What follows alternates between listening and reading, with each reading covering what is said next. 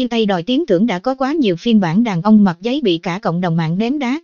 Nhưng theo một bốt hiện đang gây náo loạn trên thì cộng đồng mạng cho rằng những anh người chơi trai ấy vẫn chưa là gì so với ông chồng hiếm có khó tìm này.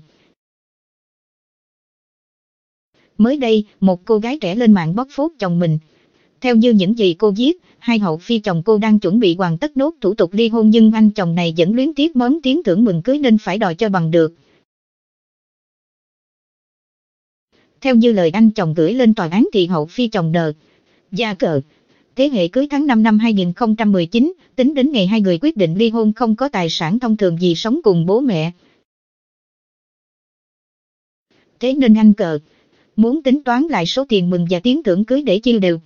Bởi trong đơn gửi tòa án, số tiền tiếng thưởng mà hậu phi chồng anh cờ thu được từ họ hàng đôi bên đều được đầu tư vào việc làm ăn của hậu phi. Chưa tính đến độ sống động của lời người đàn ông này nói nhưng cách mà anh ta biểu lộ rất chi ly, không còn cái gì chi nữa quay sang trọng đòi tiếng tưởng mừng cưới thì ai ai cũng ngao ngán. Liên hệ với chủ nhân của bài đăng là cô hậu phi 20 tuổi quận N cho biết, em chẳng biết phải nói gì hơn. Nhưng sự thật vẫn luôn là sự thật, em tin vào sự công bằng. Không thể tin nổi, cuộc hôn nhân có độ dài 5 tháng này lại cầm nguồn từ mối quan hệ gắn bó suốt 6 năm của cờ. Gia nợ. Bao lần tan rồi hợp, cuối cùng hai người họ cũng quyết định làm đám cưới. Ngỡ tưởng cuộc sống sẽ sang trọng một trang thế hệ tươi đẹp hơn nhưng không. Loạt tin nhắn của ông chồng có nhiều bộ mặt. Ban đầu cưới về được một tháng, thì em với anh xích mít nhau. Em làm nghề ma cúc, nên cầm buộc công việc phải đi xa kém cõi xuyên.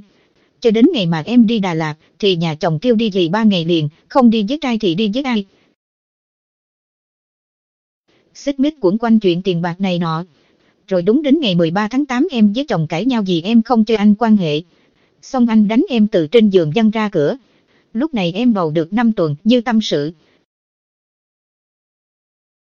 Câu chuyện của đôi hậu phi chồng trẻ khai mạc gây cáo từ những mâu thuẫn nhỏ dần bùng phát.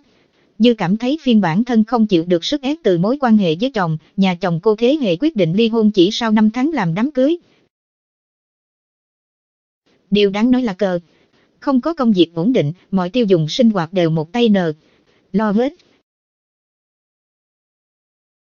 Còn chuyện tiến thưởng và tiền mừng cưới, nờ, cho biết em không biết anh lấy đâu ra những con số đó. Trong khi hôn cưới em với anh cùng bóc phong bì, tiền mừng được 20 triệu mẹ anh bảo cho chúng em 10 triệu để đi trăng mật còn 10 triệu mẹ anh mượn lại. Tiền mừng của em thì em để làm vốn đổ vào cửa hàng. Còn tổ tiến thưởng cưới em cùng anh đi bán tại tiệm tiến thưởng gần nhà. Trong đơn như cũng nói hoàn thành khoát không cho cờ. Nhận con và không yêu cầu cấp dưỡng. Nực cười hơn nữa khi ra tới tiệm tiến thưởng nợ. Thế hệ biết, mẹ anh nói trao em cái kiềm tiến thưởng ba chỉ mà lúc đi bán người ta bảo có hơn một chỉ thôi.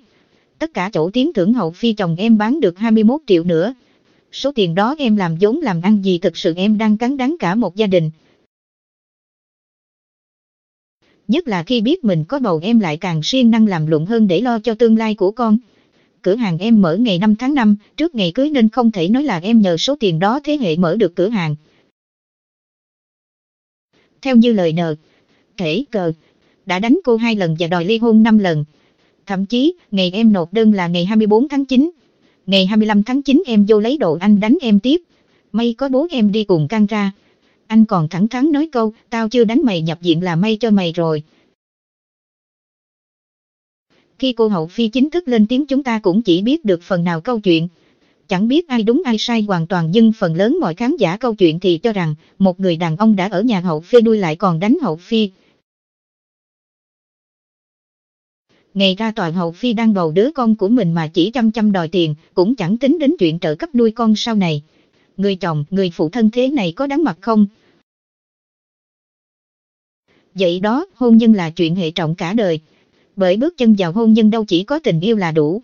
Việc hai người chơi có một khoảng thời gian tìm hiểu lâu dài lại càng không chắc chắn cưới rồi sẽ chỉ là màu hồng.